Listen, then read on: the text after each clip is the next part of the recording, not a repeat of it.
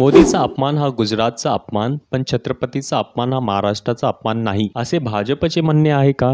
सामनाच्या अग्रलेखातून भाजपवर टीकास्त्र नमस्कार आपण बघत आहे लाईव्ह टीव्ही मराठी. भाजपच्या नेत्यांकडून छत्रपती शिवाजींचा वारंवार अपमान केला जातोय. त्यावर आजच्या सामन्यातून निशाणा साधण्यात आला. महाराष्ट्राच्या राज्यपालापासून मंत्र्यासंत्र्यापर्यंत प्रत्येक जण स्वतःच महामहोपाध्याय किंवा शिवशाहीर असल्याचं अभिर्भाव डफावर थाप मारित आहे. पण ही लोणकडी थापच म्हणावी लागेल असं सामनाच्या लेखातून म्हणण्यात आले. विखे पाटील हे कधी काळी मर्द मराठे मावळे म्हणून शिवरायांचे भक्त होते.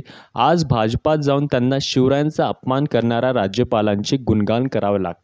वीर मराठ्यांचा हा देश आहे या कल्पनेस यामुळे धक्का बसतो. एकंदरीत भाजपचे शिवप्रेमाचे डोंग रोज उघडे पडत आहे त्यामुळे छत्रपती उदयनराजे म्हणतात तेच खरे की छत्रपती शिवरायांचा अपमान करणारे सत्तेवर कसे राहू शकतात?